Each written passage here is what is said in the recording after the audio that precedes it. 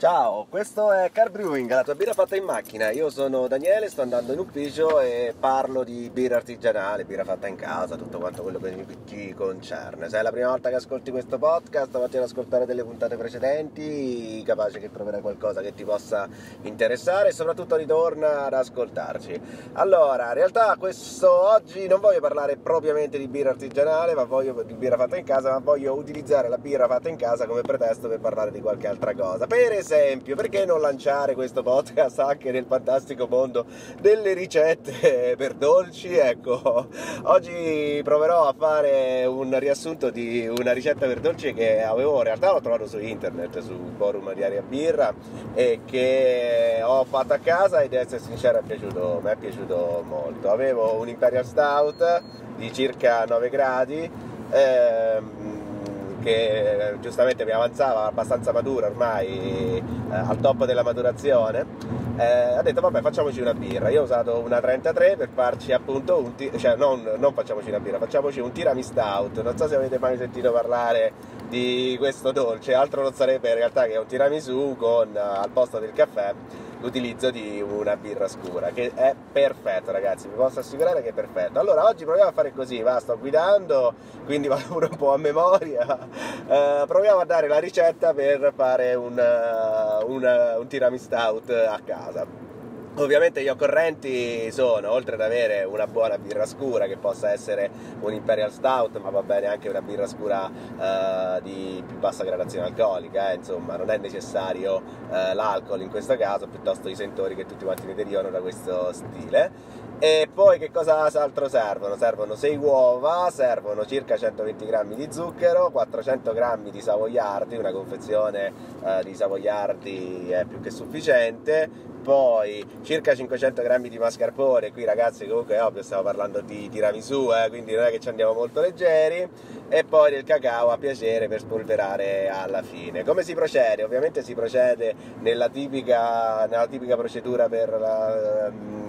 Eh, per la preparazione di un, eh, appunto, di un tiramisù, quindi si separano gli albumi dai tuorli, si montano a neve gli albumi e si mettono un attimo da parte, si montano, montano, montano, montano, montano con le fruste, sarebbe meglio, altrimenti ci si mette tre anni e sei mesi, poi si, uh, si montano pure, si, si, frullano pure i tuorli, dopodiché si aggiungono al, um, al, al mascarpone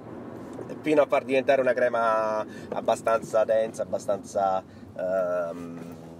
omogenea, dopodiché si aggiunge al, agli albumi e si monta e si, e, si, e si, mischiano piano piano. Mi raccomando, un trucco fondamentale in questo caso è eh, amalgamare dal basso verso l'alto con una spatola non frullate perché altrimenti smontate gli albumi e praticamente è come se non avesse fatto niente. Ecco vedi car brewing eh, in cucina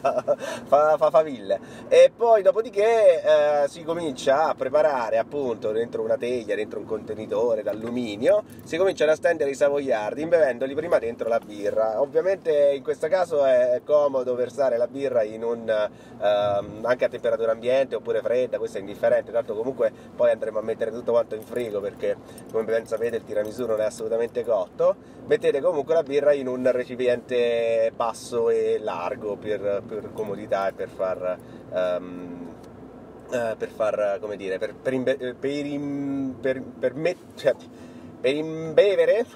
non lo so come si dice, insomma per bagnare meglio i savoiardi. Ok, fatto questo, sinceramente non è importante immergere fino come una cioè uh, imbevere, ma questo, questo, verbo non mi vuole proprio entrare, quindi uh, bagnare fino come una spugna i savoiardi è sufficiente anche appoggiarli uh, appena e poi subito disporre sopra questa teglia in maniera ordinata, dopodiché si passa, ehm, finito il primo strato, gelato si passa con eh, appunto spalmare sopra la, la crema precedentemente preparata poi si possono fare e si può proseguire a questo punto si può proseguire come meglio si preferisce con tutti quanti gli strati che si preferisce con uh, uh, l'importante è che alla fine si mette un'abbondante spolverata di cacao. Ecco uh, fatto questo poi si lascia riposare per almeno 4-5 ore in frigo in modo tale che comunque un po' tutto quanto si amalgama un po' tutti quanti i sapori vengono un po' mischiati tra loro un po' tutti quanti i liquidi si vengono vengono, assorbiti da tutti quanti i vari dai savoiardi che a questo punto si impregnano sia di birra che di mascarpone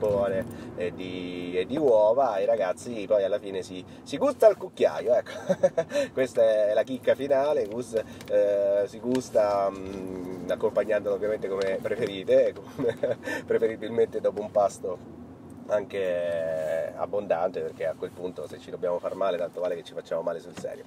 Ecco questa era la ricetta del, tir- del tiramistout. Ripeto io l'ho trovato su Aria Birra casomai vi lascio il link in descrizione se volete farlo se volete riproporlo. Io sinceramente eh, l'ho trovato molto facile da fare molto buono molto d'effetto e poi soprattutto è bello vedere pure la faccia dei commensali che di fronte a una cosa del genere dico ah hai fatto il tiramisù? No non ho fatto il tiramisù ho fatto il tiramistout e fai pure lo sborone perché gli lasci pure questa, questa storia da raccontare agli amici. Ok ragazzi, credo che per oggi ho fatto pure troppo, sono eh, così presto la mattina che già mi è venuta un'altra volta fame, vi ringrazio per aver ascoltato questo podcast, tornate, tornate, tornate e scriveteci carperuinchiocciolagmail.com. Io sono Daniele, ciao ciao!